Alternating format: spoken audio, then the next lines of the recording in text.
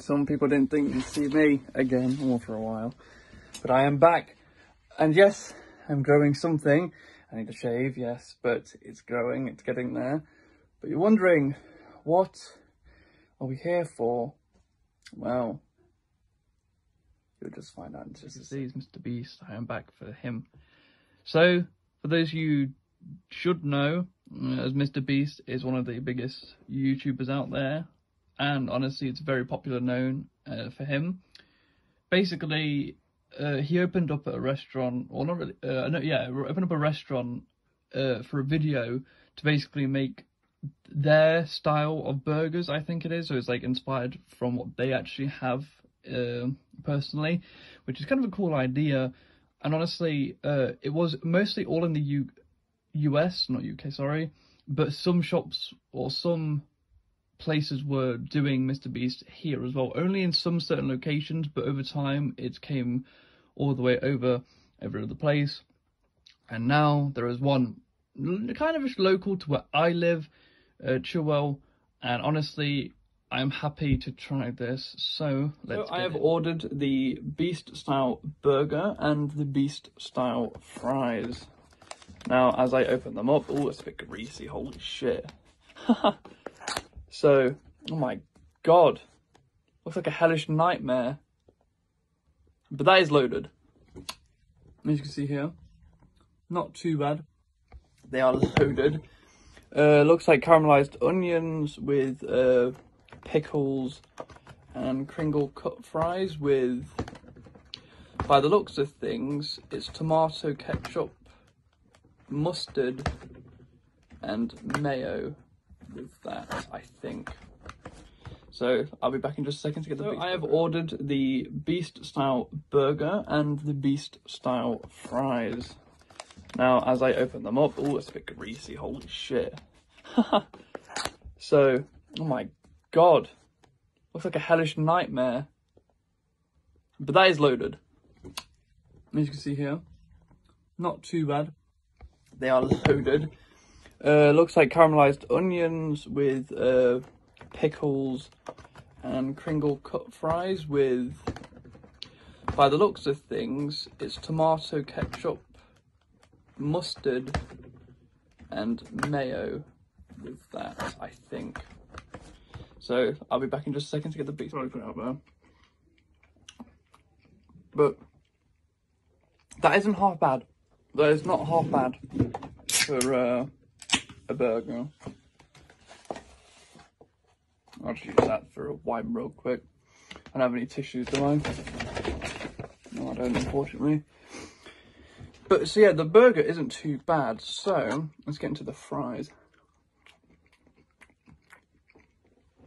Well, they're loaded with sauce. It's just loaded. There's well pickles. Mm. Not too bad. Not not too bad. To be honest. So in hmm, uh, the fries are nice and crispy a little bit, but I feel like the fries, the loaded fries, are like too loaded. Like they've just got a load just crammed in, you know, condiments. You know, they've crammed in a load of onions, pickles, you know, and all the sauces.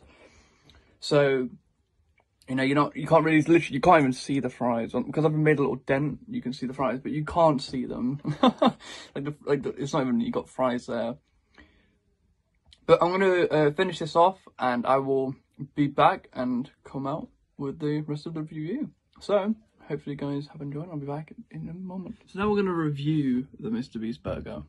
So uh, the fries were loaded, uh, really, really loaded. Uh, to my liking, I feel like it was just crammed in. Uh, like I said, there was just a load of sauces. Uh, I think it was like mayo, mustard, and ketchup. And then I think it was, uh, yeah, it was pickles and caramelized onions, which isn't too bad. But I feel like the, they overly sauced it up a lot. I feel like they over sauced it a bit. Over sauced it. but, yeah, to be honest, it wasn't too bad. Uh, I've got a bit left over. Uh, made me a bit full.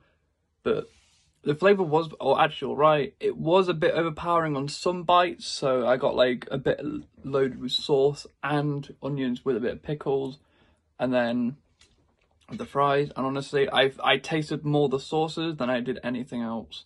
So just be warned on that uh, if you were to put it like seasons, because there are I think two options for the if you do buy the beef style fries, they will be unseasoned or seasoned.